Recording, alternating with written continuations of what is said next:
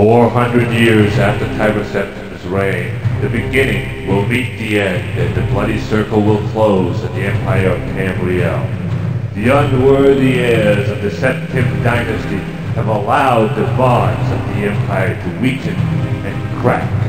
Uriel Septim the Seventh cannot repair what his ancestors ignored. The provinces fight among themselves like neglected children, drunk with rebellion, one indomitable power hides itself, but not forever.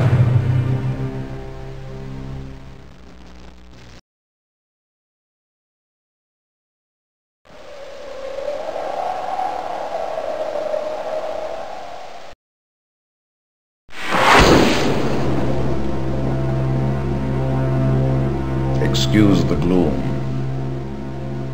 but none may know of this meeting. The nature of my trouble is darker still.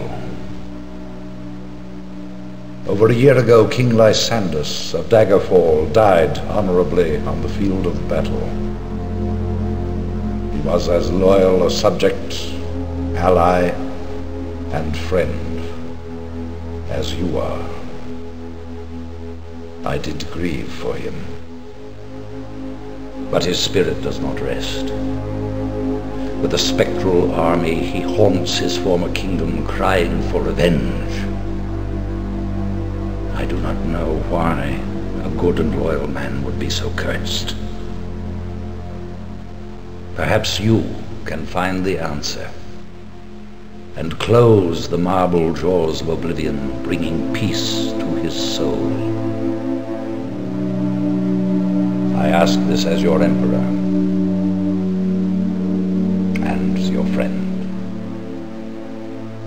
I have one lesser request.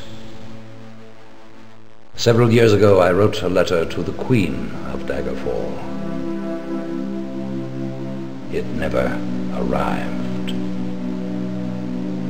The letter was of a sentimental and personal nature. If you find and destroy that letter, I will be grateful. Now, my champion, rest well this night, for tomorrow you sail for the kingdom of Daggerfall.